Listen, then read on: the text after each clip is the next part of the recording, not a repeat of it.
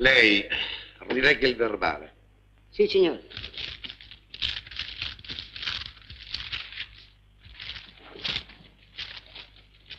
Quattro, tre, due, no. Uno, tre. No, due viene dopo uno. Legga, legga, cosa aspetta? Sa, si scrive. Eh.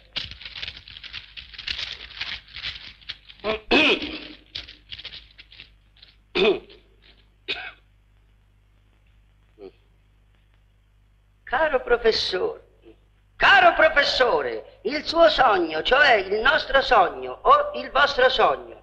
Punto. Che sogno, che sogno? Freddo nordico, caro professore, freddo sano che snebbia il cervello. E si trova il cipollino che qui potete ammirare. Sette operai, ma neanche per sogno. Ne avrete 700 o 700.000 avanti Cristo. Eh, sì. Approviamo? Tanto siamo in guerra bisogna ballare. Tanto più che deve arrivare Sua Eccellenza. Il dado, il dado, vedi a è, no- è una mia annotazione. Il dado, mi è sfuggita una parola. Le vestigia dell'antica civiltà e l'ampia sedra marmorea non disgiunta dallo spettacolo delle abitazioni periferiche sarà la degna cornice. Verbalizzi l'approvato e stia lì. Così. Il crisma dell'ufficiale sta per arrivare in alto loco. Eh,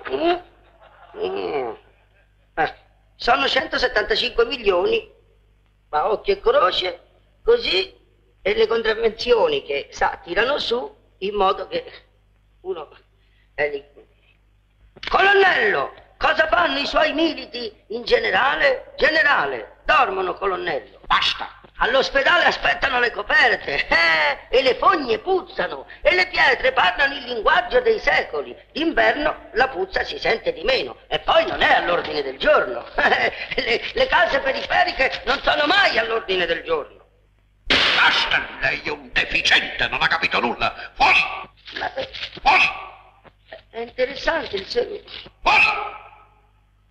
Si sbrighi, faccia presto. Esca dall'aula! Ma vada al diavolo!